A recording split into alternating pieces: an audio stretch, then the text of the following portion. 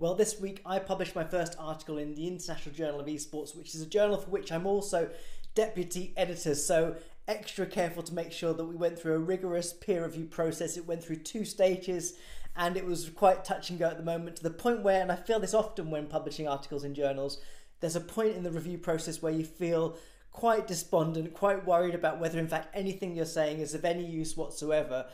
and any good at all. So um, managed to get over the hump and make my revisions, go through the process and get some further comments and eventually find a place within the journal that hopefully is making a useful contribution to the discussions around health and well-being. It's an area that I feel very strongly about. I think that esports is a wonderful space in which to operate as a creator, as an innovator, and as someone that's really fascinated by technological change. But there's lots of things we need to figure out, which is why there's so many wonderful people working in this area to make sure we think about the well-being of players, the kinds of behaviors that operate around esports communities, and ultimately trying to make sure that we make sense of how different kinds of social interactions lead to all kinds of pressures and habitual behaviors that may in fact put people in jeopardy. So the article takes 70 esports companies, which includes publishers, developers, streaming platforms, and a whole range of other industry providers to explore how they publicly share the kinds of activities they do around well-being support for their players or their communities. It paints a picture of what we can see out there in the public domain, which is another area I'm very strongly passionate about. I think that much of what goes wrong in society is because we kind of close the doors around these worlds and, and, and lock them in in communities where we can't transparently see what's going on. So I studied how these organizations publicly share what they're doing with regards to safeguarding and broader well-being practices to understand whether we can begin to discuss publicly what's going on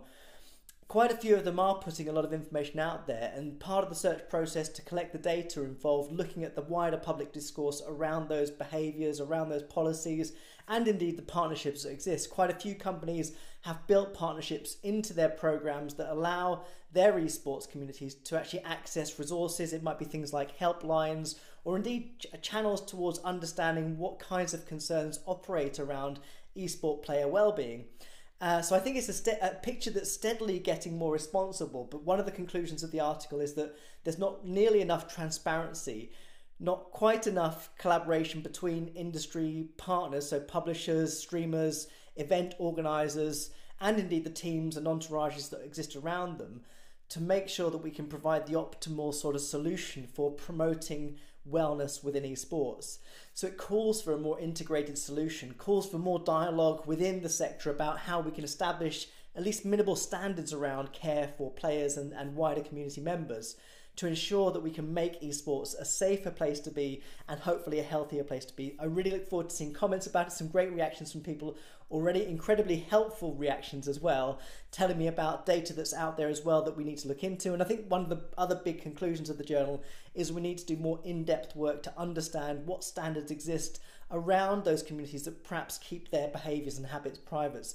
And um, there's also a great deal of, of work around the partnership programs where many sports organisations are beginning to work with a range of other sort of uh, healthcare providers, whether it's mental health support or physical activity. These are emerging partnerships that we're beginning to see in the data, and I hope and, and, and feel that this will be really incredibly useful to see more of that as we go forward. So take a look at the journal on the website and uh, please feedback any comments you have about the work.